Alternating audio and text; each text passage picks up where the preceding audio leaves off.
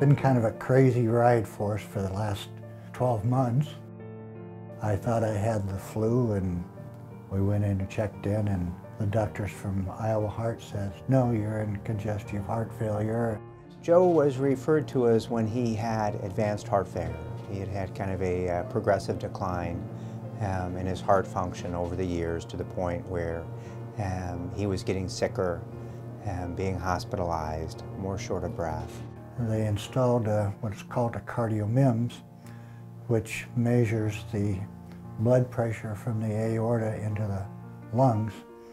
And this is transmitted from Des Moines on a daily basis. He was able to check his pressures at home. We would um, monitor them over the internet um, and make adjustments to his medications as needed. The MEMS picks up the sensors before I can feel them. And so uh, they can try to stay ahead of any of the medication changes for me. This is a relatively new technology, but we are increasingly utilizing these devices to uh, monitor patients from afar. The goal being obviously to delay their disease progression, keep them out of the hospital, um, minimize um, their visits. And for patients who come a long ways to the med center, um, it makes their quality of life better. His disease worsened. Um, he required a mechanical heart. Um, he received one of the newer devices, a HeartMate 3. Things kind of escalated with the low flow and uh, some of the warning problems we were having with the, with the LVAD. That uh, the left side was healing, but the right side was going down. Left ventricular assist devices or mechanical hearts are still um, not perfect therapies. Um, we think the newer devices um, are better than the older devices, but patients are still limited in that they have an electrical drive line, they still have to wear batteries every day, they still can have infections or complications from their pumps. So we still consider cardiac transplantation the best therapy or the gold standard for patients with advanced heart failure. Kathy was doing uh, some paperwork in the basement and the phone call came in.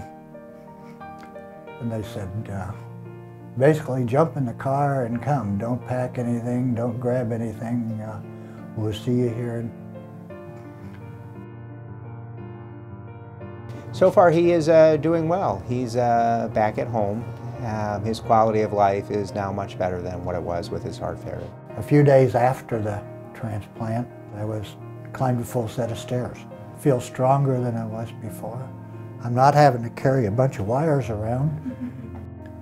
Things are uh, appear that they're going well, and uh, so we're just taking one step at a time on it. All along, he was able to uh, keep his CardioMEMS device. So even with his mechanical heart, and now with his transplantation, we're able to monitor um, the pressures in his heart and adjust his medicines as needed. It's kind of exciting for them because they've never seen a CardioMEMS in a person with a transplant. So we're, we're all in the learning process as to what information is it gathering and giving to them.